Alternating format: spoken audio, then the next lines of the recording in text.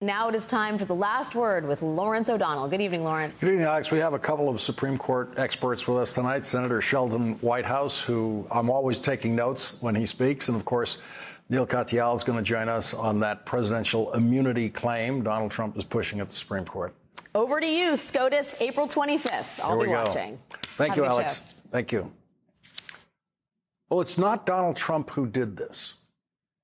It's the 63 million people who voted for Donald Trump and put the power of Supreme Court nominations in Donald Trump's hands for four years. And it's the 62 million people who voted for George W. Bush or who volunteered for his campaign or who helped out in any way, which meant that they indirectly voted for Chief Justice Roberts and Justice Samuel Alito, who wrote the opinion overturning Roe versus Wade.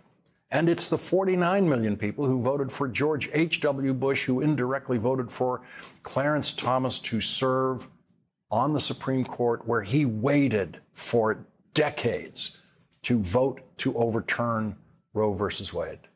Now, many of those Republican voters did not mean for this to happen. Most voters had every right to suspect that Donald Trump's position on abortion as a presidential candidate was just political posturing. He wasn't the first. George H.W. Bush and the Bush family were supporters of Planned Parenthood until George H.W. Bush had to change his position in 1980 in order to become Ronald Reagan's vice presidential running mate. An act of ultimate cynicism in politics. No one working in American politics believed that George H.W. Bush from Connecticut was really opposed to abortion. It's simply what he had to say to get on the Republican ticket, which in that year was running on an anti abortion platform that the candidates never emphasized, but made sure that anti abortion voters knew about. It was the most cynical public act we had yet seen in presidential or vice presidential candidate. The first of President Bush's sons did not have to engage in a public reversal of his position by the time he became a politician running for governor of Texas. George W. Bush fully aligned himself with the absolute anti abortion politics of the Republican Party that had taken hold by that time in the 1990s. The next presidential campaigning Republican, forced by Republican politics, not by principle, to get in line with the party on abortion was Mitt Romney, who ran a losing Senate campaign in Massachusetts against Ted Kennedy, claiming to be to the left of Ted Kennedy on abortion and other issues. Then Mitt Romney won the governorship of Massachusetts, running with the identical position on abortion of every Democrat in Massachusetts. Mitt Romney was completely pro choice as the governor of Massachusetts. And then when he ran for president as a Republican in 2012, he completely flip flopped and became as anti abortion as any other Republican. So when Donald Trump says, as he did this week, that the Republican position on abortion is just politics, he means it. And he's not the first one. He's not the first one to think so cynically about Republican abortion politics. The last time Republican presidential candidates debated abortion was 24 years ago when John McCain wanted to ban all abortions with exceptions for rape, incest, and life of the mother. And George W. Bush didn't appear to understand his own no exceptions position. George, do you believe in the, exemption in abortion, case of abortion for rape, incest, and life of yeah, the mother? I do. I do. Then you know it's interesting. You're talking about printed material that's mailed out. Here's one that says that George W. Bush supports the pro-life plank. Pro-life plank. Yes. So in other words, your Yeah, your position is that you believe there's an exemption for rape, incest, and life of the mother, but you want the platform that you're supposed to be leading to have no exemption. Yeah, but the Help out platform. I will. I will. Thank the you. platform talks about. It doesn't talk about what specifically should be in the constitutional amendment. No, That's it doesn't no, have the Please exemptions let me in it, finish, and you John. know that very John, Let me finish. Let me finish. The, con- the, the platform speaks about a constitutional amendment. It doesn't refer to what, how that constitutional amendment ought to be defined. It does not. John. You read the, the platform; it has no exceptions. John, I think we need to keep need to keep the platform the way it is. This is a pro-life party. Then you were we need contradictory. May I finish, please? May I finish, please? Right. Please. We need to be a pro-life party. We need to say life is precious, and that's what our platform refers to, and that's why we need to leave it the same. George W. Bush, the man who became president, clearly did not know what he was talking about. But John McCain didn't either. During that campaign, John McCain was asked by a reporter if he would tell his then 15 year old daughter that she could not have an abortion if she became pregnant. John McCain said, No, I would discuss this issue with Cindy and Megan, and this would be a private decision that we would share within our family. Obviously, I would encourage her to know that that baby would be brought up in a loving family. The final decision would be made by Megan with our advice and counsel. And I think that's such a private matter. Yeah, it is a private matter. All responsible people agreed with that answer. But that was not actually John McCain's position as a candidate. And that meant that John McCain was in favor of banning abortion for everyone except his daughter. So John McCain was forced to go into Republican damage control, calling reporters saying, I misspoke. What I believe I was saying and intended to say is this is a family decision. The family decision will be made by the family, not by Megan alone. That clarified nothing, of course, except that Republican elected officials, especially presidential candidates, do not mean what they say about abortion. They never have. They have always been posturing, and none of them ever wanted to deal with the reality of their position on abortion, which we are now dealing with, and the people of Arizona are dealing with tonight, having been thrown back to 1864 to live by a law written by one man who no one elected to anything, back when Arizona was a territory, a half century away from becoming a state. Make America great again now means make America great the way it was in 1864, when the territory of Arizona was fighting on the side of the Confederacy in the Civil War to preserve slavery in America and imposing laws on women and doctors and nurses that everyone in Arizona has to live with tonight. The Democrats in the state legislature in Arizona tried to repeal that law today, and the Republicans blocked it. And so the Republicans in Arizona actively made the decision today that the people in Arizona must live as if it were 1864 and it wasn't even a state. And so reporters can and should hound Donald Trump on the campaign trail about the five year prison sentences that doctors and nurses and support staff and drivers are facing in Arizona now. But you should also stand outside George W. Bush's home in Texas and demand an answer from him. Is this what he wanted when he chose Samuel Alito for the Supreme Court? Or was George W. Bush just playing the game of abortion politics, just like every Republican did before him. The game was never to win. The game was to keep the game going. If you were anti abortion, you had to vote for Republicans as long as they kept the game going, because they were the only ones who were at least pretending they wanted to stop it. Secretly, Republican politicians didn't want abortion to stop because then you wouldn't have to vote for them anymore to stop abortion. You wouldn't have to contribute money to their campaigns. You couldn't ask for a more powerful lesson in how much your vote matters and how long your vote matters. Your vote lives after you, long after you. Millions of people who voted for George H.W. Bush and who therefore voted for Clarence Thomas to be on the Supreme Court to overturn Roe versus Wade are now dead. Millions of those voters have been dead for decades. Their vote continues to live after them in the hands of Clarence Thomas on the United States Supreme Court. It didn't seem like a life changing election in 1988 when Michael Dukakis was running against George H.W. Bush. I didn't know anyone who thought the country was going to take a major turn for the worse because of the outcome of that election. The stakes seemed about as low as they could get in a presidential election. But as I've said before on this program repeatedly, whenever the stakes appear low in a presidential election, you always, you always have to remember the United States Supreme Court. And so, for the Democratic voters who just weren't excited enough about Michael Dukakis, or the Republican voters who voted for a guy who used to support Planned Parenthood, the truth is that that time they could at that time they couldn't possibly have known they were going to change life in America profoundly decades later with their vote for George H.W. Bush or the decision simply not to vote. Same thing in 2000 when George W. Bush was running against Al Gore. The stakes did not seem high. That's why ever enough people voted for Ralph Nader as a third party candidate in Florida to give the Electoral College, thanks to the Supreme Court decision, to George W. Bush.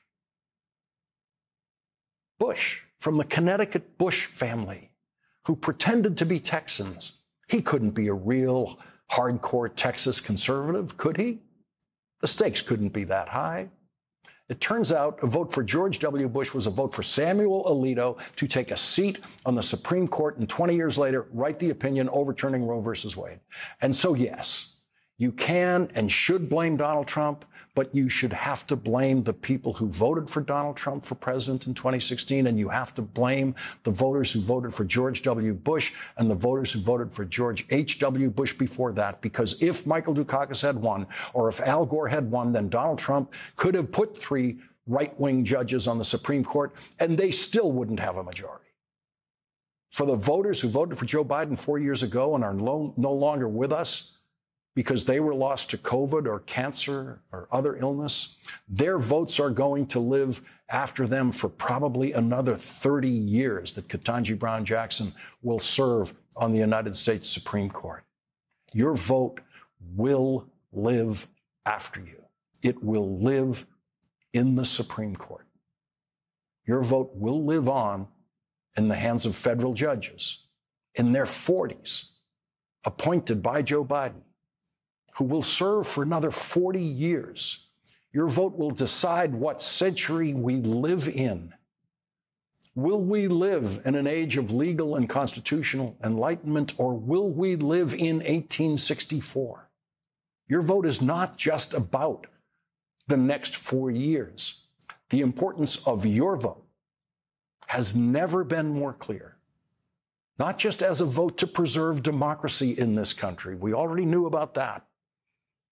Your vote for who chooses Supreme Court justices is nothing less than an exercise in incredible intergenerational power that will live long after you. Leading off our discussion tonight is Democratic Senator Sheldon Whitehouse of Rhode Island. He is a member of the Senate Judiciary Committee and chairs the Subcommittee on Federal Courts He's also the author of Captured, the corporate infiltration of American democracy. Uh, and Senator, I, I really wanted to be able to talk to you about this tonight because when I say I'm going to hold up this little chart that you've created that shows the Republican uh, multi-decade plan to take over the United States Supreme Court, we've shown it on the program before. When I say uh, people didn't realize, or I certainly didn't realize how big the stakes were in the presidential election of 1988 or the presidential election of 2000. I didn't know about this chart. I didn't know that this plan was underway to take over the Supreme Court in the way that they have taken us taken it over to now, as we see, at least in the state of Arizona, and hope and possibly in other places, sending us back to 1864. Yeah, um, I'd add one detail to your well-told story, Lawrence, and that is that uh, when George W. Bush became president and he had the vacancy to fill, his first choice was Harriet Miers, who might well not have written the Dobbs decision. And George W. Bush was attacked from the far right He was att- attacked by the creepy far right billionaires for nominating Harriet Miers, a conservative lawyer who was his own White House counsel. And from pressure from the far right and from the folks who work with that same guy on that graphic you just showed, Leonard Leo, he was forced, humiliated really, to withdraw his own White House counsel's nomination for the Supreme Court and replace her with Sam Alito. So it's not just the people who voted for Bush, it's the people in the Republican Party who tolerate the right wing billionaire dominance over their party, won't call it out, won't stand up against it, and will let them pull out Harriet Miers and insert Sam Alito and put us on the pathway to Dobbs. Yeah, you know, I've, I've been, uh, since I started this show, I've always been struggling for, you know, how how to teach the lesson of how important the presidential vote is in terms of the Supreme Court. If there's nothing else, if there's no other issue that's moving you, or if you're angry about four or five other issues, you always have to come back to the Supreme Court and say, which one of these candidates do I want making uh, the next appointments to the United States Supreme Court? Particularly when the court has been as weaponized as it has been and is now point by point delivering on the Republican agenda through cases that have been spun up by billionaire funded litigation groups, through direction that has been spun up by billionaire funded flotillas of amicus curiae who come in and file briefs telling the courts what to do and landing in a court uh, that has been over and over again picked by the Federalist Society and the billionaires behind it to do exactly the job of delivering the goods for the far right. Senator Sheldon Whitehouse, uh, thank you as always for your guidance on the Supreme Court. Uh, you have taught us more about it than anyone else who's working on the subject these days. Thank you. Thank you. And coming up, 15 historians have filed a brief with the United States Supreme Court opposing Donald Trump's claim of presidential immunity, an immunity he has invented. Neal Katyal and Stanford historian Jack Rakove will join us next.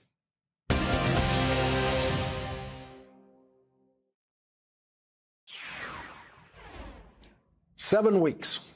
Special Prosecutor Jack Smith asked for a deadline of March 18th for Donald Trump's lawyers to disclose any classified evidence that they would like to use in Donald Trump's criminal trial for violations of the Espionage Act. And Donald Trump's favorite judge, Aileen Mercedes Cannon, set a date seven weeks later than what Jack Smith asked for. And so, in an order issued today, Judge Cannon gave the Trump criminal defense team until May 9th to disclose what classified material they would like to use in defense of criminal defendant Donald Trump. And we are two weeks away from hearing oral arguments at the United States Supreme Court in defendant Trump's appeal, claiming that he has something that the Trump lawyers are calling presidential immunity from any criminal charges for anything Donald Trump did while serving as president and after serving as president. A 34 page brief filed with the Supreme Court by 15 historians and scholars of the founding era, including Stanford history professor Jack Rakove, who will join us in a moment, opposes Donald Trump's invention of presidential immunity, which appears nowhere in the Constitution. The historian's brief stresses five points. First, early Americans held a deep antipathy to to and distrust of executive power. Second, the founders came to the Constitutional Convention determined to create a new kind of executive without the powers and privileges of a king. Third, the framers never contemplated giving the president any role in the conduct of elections or transfer of power. Fourth, the founders were careful to limit and make explicit the law, the, the few privileges that they attached to constitutional offices. Fifth, advocates for the new Constitution sought to assure state ratifying conventions that the new president would not be an elected king. The historian's brief goes on to say, quote, there is no evidence in the extensive historical record that any of the framers believed a former president should be immune from criminal prosecution. Such a concept would be inimical to the basic intentions, understandings, and experiences of the founding generation. The crime alleged here, a failure to respect the election of a new president, is the ultimate crime against the people who are the basis of the government. The president, by constitutional design, should have no role, official or unofficial, in the determination of the people's vote. Immunity for the crimes here alleged would be most abhorrent to the framers because immunity would upset the constitutional scheme and aid a president in overriding the people's power over him. The framers would also have been appalled that former President Trump, despite having left office, seeks permanent immunity. Joining us now is Neal Katyal, former acting U.S. Solicitor General and host of the podcast Courtside with Neal Katyal. He is an MSNBC legal analyst. Neal, uh, in your experience, how does the court treat briefs like this uh, coming from parties not uh, directly involved in the case? I, want to answer that, Lawrence, but first I just have to compliment you for how you started the program tonight. I don't think I've ever heard it better said on a news program. Elections have huge consequences, and the Supreme Court has huge consequences over our lives. I've been saying this in every presidential election since 2000, and unfortunately, Democrats didn't listen. But if you care about choice, or you care about reasonable gun control, or if you care about reasonable punishment, or if you care about strong environmental and climate protections, the Supreme Court has outsized influence over our lives, particularly because of life tenure. And I get the privilege of seeing them up close. I've argued 51 times at the court. I've seen Justice Ketanji Jackson and what she can do. I've seen what Justice Elena Kagan can do. I've seen what Justice Sotomayor did, and I saw what Justice Ginsburg did before that. And so this is a huge issue. Now, with respect to your question about historians' Bruce, I do think the Supreme Court can take them seriously, particularly when they're as well done as this brief is. I mean, they destroy this presidential claim and they say what it is. This is a claim that the president is not an elected official, he's a king and he's above the law. And there's really no principle in our Constitution that's more anathema to that. And if you have any doubt about this, there was a guy after the after January 6th happened who explained that a president could be criminally indicted.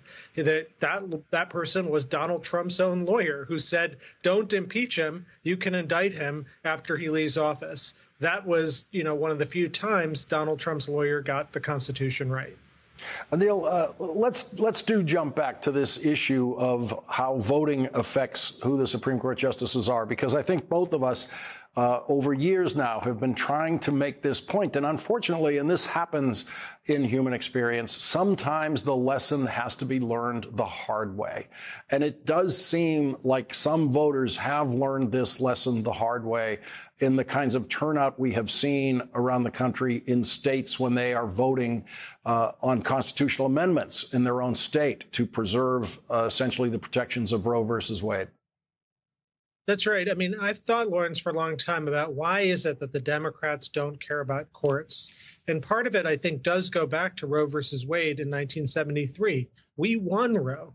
And so the right to choose was firmly entrenched in our Constitution, even so much so that it was Republican justices in 1992, Justices O'Connor, Souter, and Kennedy, who said, we're not going to overturn it.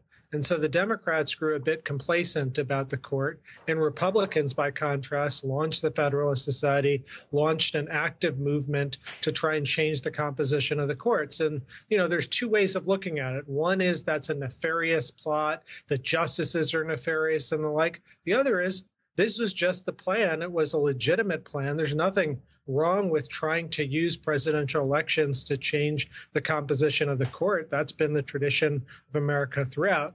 Uh, and, you know, you don't have to take the first view in order to think that elections have huge consequences over our lives. And if you care about autonomy and you care about reproductive justice, you know, this election in November is as critical as anything that's happened in our lifetimes. Neal Katyal, thank you very much for joining us tonight. Thank you. Thank you.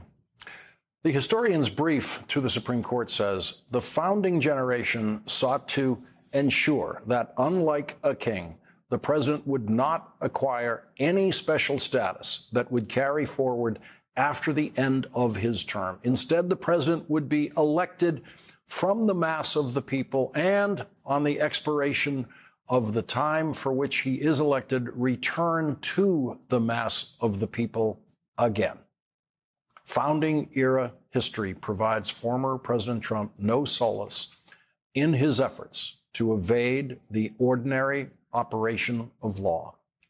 Joining us now is Jack Rakove, professor of history and American studies and professor of political science at Stanford University, whose name appears, he's, he's on this amicus brief uh, to the Supreme Court. He won the Pulitzer Prize in History for his book, Original Meanings, Politics, and Ideas in the Making of the Constitution.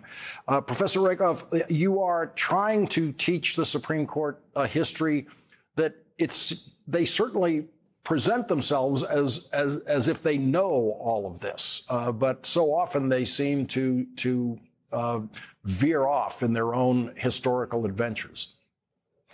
Uh, well, it's true, Lawrence. Uh, all kinds of claims are made about history, uh, often on partial or even specious grounds. And it's the historian's task, uh, whether we, we, write as individuals or collectively, as, as, we do in this brief, to come up with the somewhat more complicated, richer, but also more accurate explanation of what was the mental world that the framers of the Constitution occupied and how did they think about executive power uh, in the way that they did.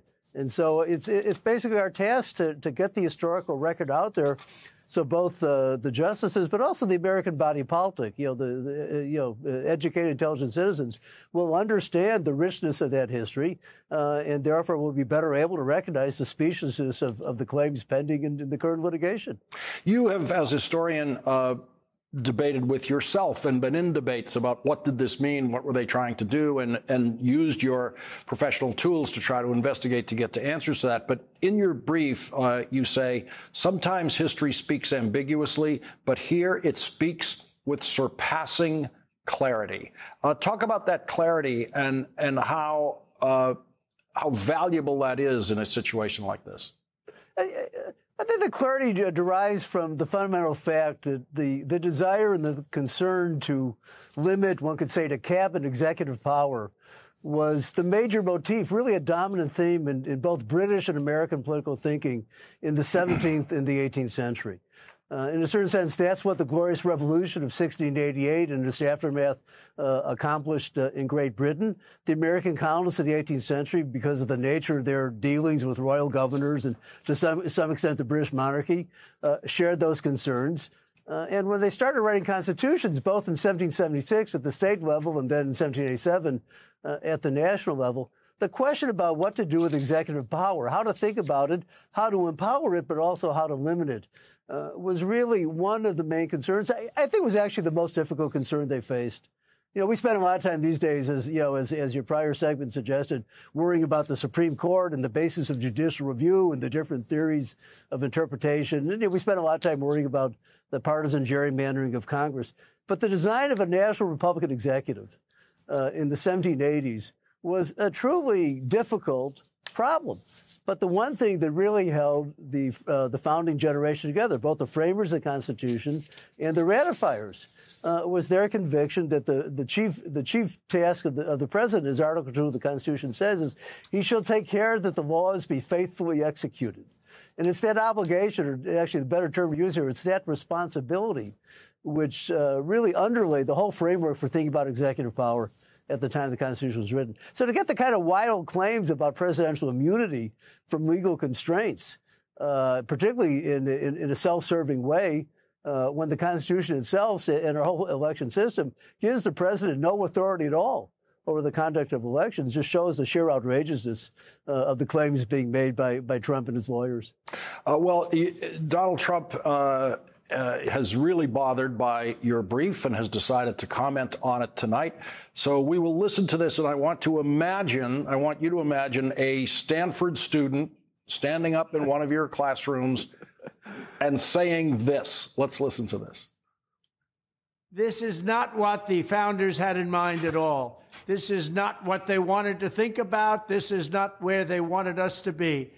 The founders wanted the president to have immunity so the president can feel free to make decisions. Uh, what grade does he get, Professor? you really is, is, this on a pass no credit scale, or or, or, or, or do you want it on on on? on, I, I on want I want the standard yeah. Stanford grading system here. well, it's obviously an F. I mean, I, I I always thought the Trump played a terrible joke on the American people when he swore the inaugural oath. Uh, back on you know J- January 20th, uh, uh, 2017. I, I, doubt he's ever read the Constitution. I certainly think he's never studied it.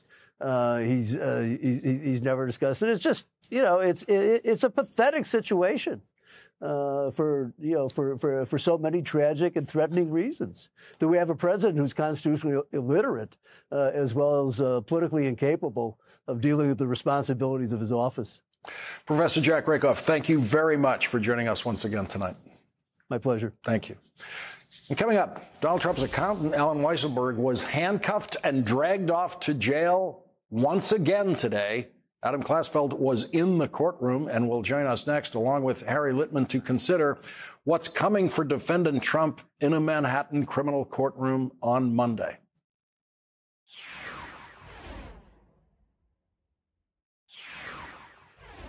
Our next guest, Adam Klasfeld, was in the courtroom today when Donald Trump's criminal accountant, Allen Weisselberg, got handcuffed and dragged off to jail once again.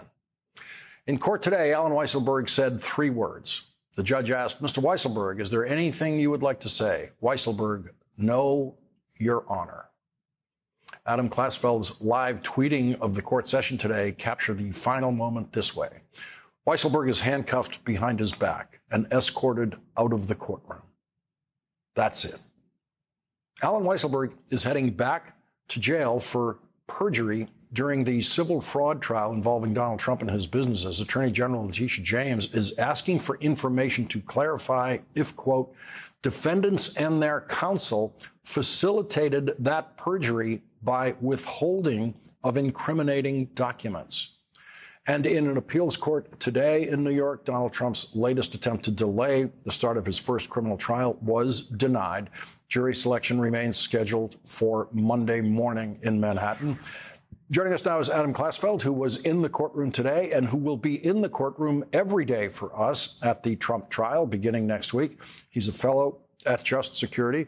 And Harry Litman is with us, former U.S. Attorney and former Deputy Assistant Attorney General. He is the senior legal affairs columnist for the Los Angeles Times. and Adam, you're in the room with defendant Weisselberg. You've been in the room before, but there's nothing quite like seeing someone walk into a courtroom a free man, a free citizen, and then handcuffed and dragged off to Rikers Island. What, what was that moment like?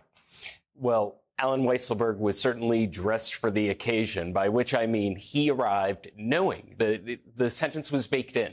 It was going to be a five month sentence, and he went into court dressed in loose fitting athletic wear, uh, dark colored. You would think that he was already in his prison uniform, though it got a little bit of an upgrade.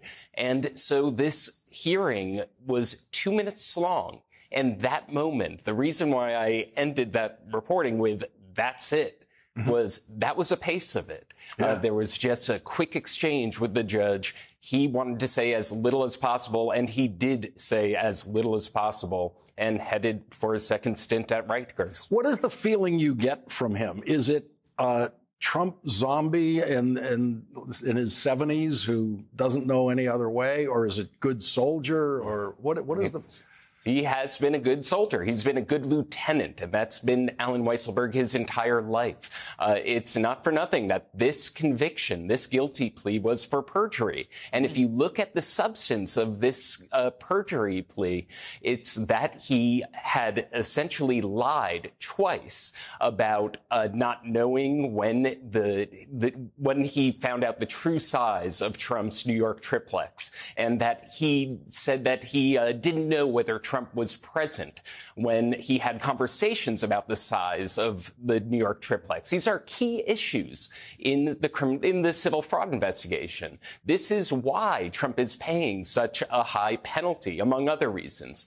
And he held out that information. So this is uh, this he's paying the consequences of that again and that's and it's a fitting farewell that he says as little as possible in uh, in a way that was clearly uh, to the benefit of Trump.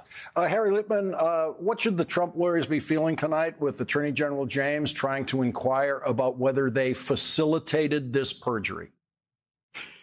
Depends first whether they did. Uh, you know, there, there, uh, it really was no secret what Weisselberg had done, and it was, it was um, well known from the whole Forbes magazine article. So, will the judge? The judge may may say enough. We don't have to go too deeply into this. It is just sort of surmise, but obviously he, uh, they, they, Trump lawyers often wind up uh, imitating their client in uh, dangerous ways. Just quickly on Weisselberg, you know, they say everything Trump touches dies, and this guy has died more than once.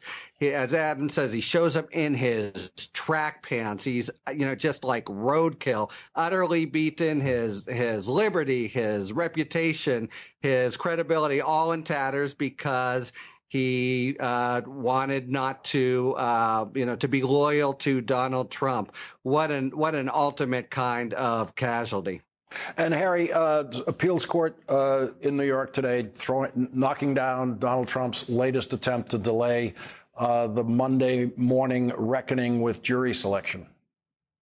Another day, another crazy motion from Trump, and another very quick rebuff. So again, it was a single judge who said, I'm not even going to give this to a five judge panel. Forget about it on the delay. We can talk next week about the substance if you think we should reform the gag order. There's no reason to, but we can talk about it. But on your delay uh, efforts here, uh, you know, in a skinny New York minute, they said, no, don't even have to serve it up to the larger court.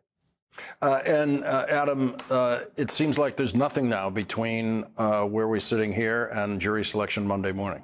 Absolutely. I mean, we who knows whether Trump is back to appellate court tomorrow morning, but the appellate court has made itself heard three days in a row. Uh. Uh, three days in a row now, Trump is coming in with a last minute bid to delay the trial, and he gets rebuffed by three separate judges. By the DA's count, he has tried to halt this trial more than 10 times. It's 11 co- times by the DA's count, and every time it gets rebuffed. Adam Klasfeld and Harry Litman, thank you both very much for joining us tonight. Thanks. Thanks, Thank you. And coming up, will Wisconsin now be forced to go back to 1849 and live under an 1849 abortion law? Wisconsin Democratic Senator Tammy Baldwin, who is running for re-election in Wisconsin, will join us next.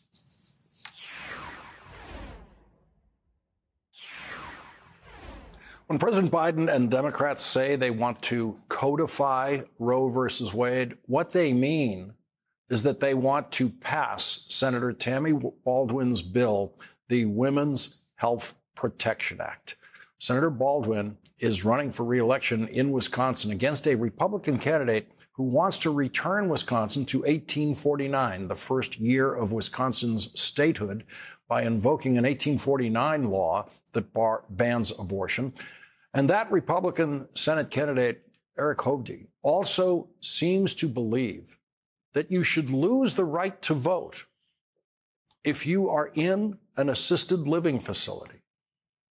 Well, if you're in a nursing home, you only have five, six month life expectancy. Almost nobody in a nursing home is in a point to vote.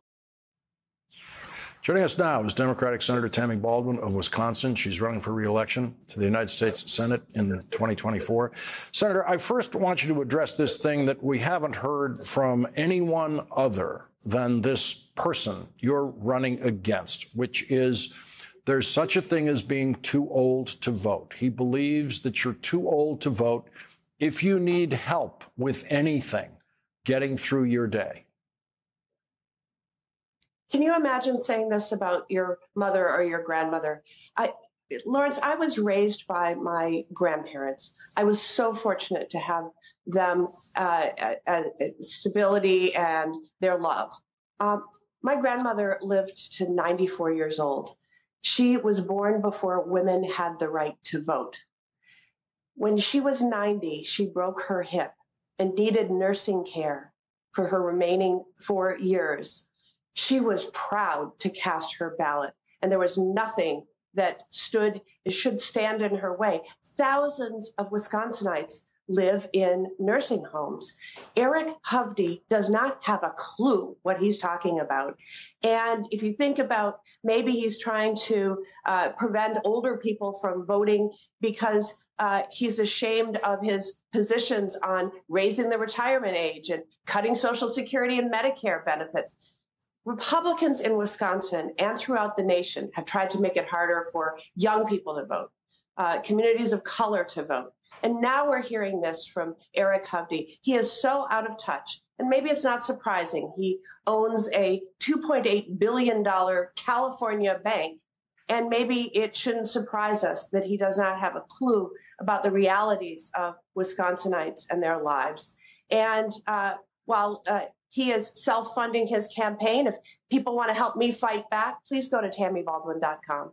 What is at stake uh, on the issue of abortion rights in Wisconsin in this election?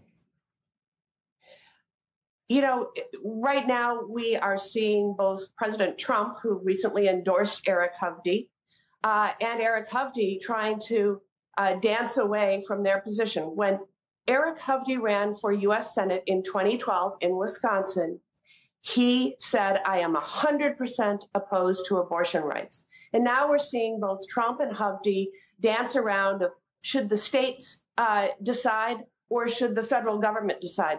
Well, I want women to decide. And that's exactly what I'm fighting for with the Women's Health Protection Act. And uh, as we go forward, uh, the, the possibility of codifying, as we say, putting into law Roe versus Wade is only possible if the Democrats win the House of Representatives and the Democrats win the United States Senate, and if the Democrats win and retain the presidency. Without question, that is the fact. And when you look at, again, my opponent, who is 100% opposed to abortion rights, even though he's trying to tap dance around that, women in Wisconsin will not forget the woman who bled for 10 days before she could get care, the woman whose water broke at 17 weeks and faced the risk of sepsis before she could get care.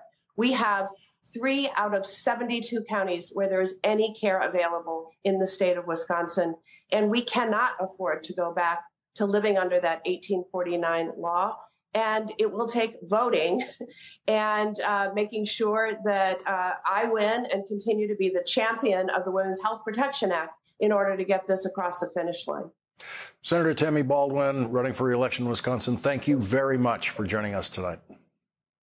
Thank you so much, Lawrence. Thank you. We'll be right back.